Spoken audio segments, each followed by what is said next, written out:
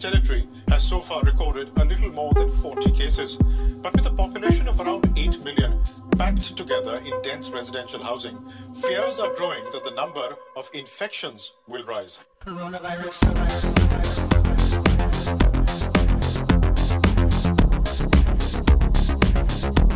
focus on Hong Kong as we continue with our coverage of the spread of the coronavirus.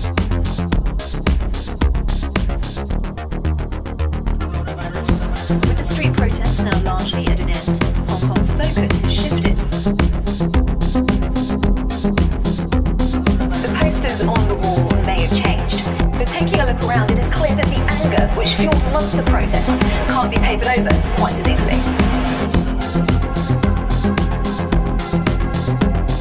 The face mask, an emblem of Hong Kong's lurch from one crisis to another. One crisis to another to another.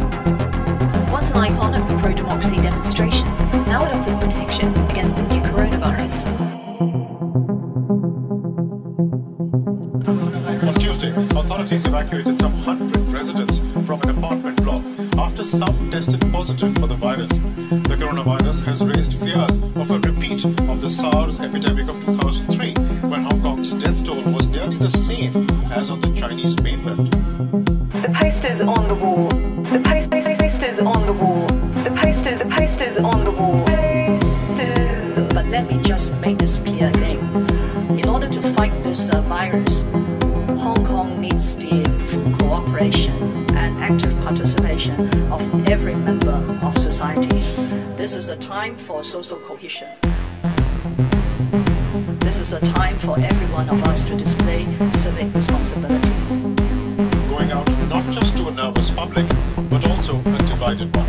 For months, the city had been tearing itself apart over weekly pro-democracy protests, but the government's alleged inept handling of the coronavirus crisis has added another layer of distrust to an already frayed relationship with the public. Where images of violent street battles once covered these walls, now it's the battle against the virus that dominates. Distrust of the government. Distrust of the government. Distrust of the government.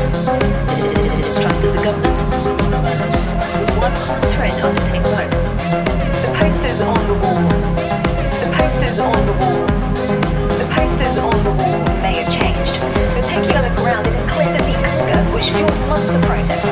can't be taken over.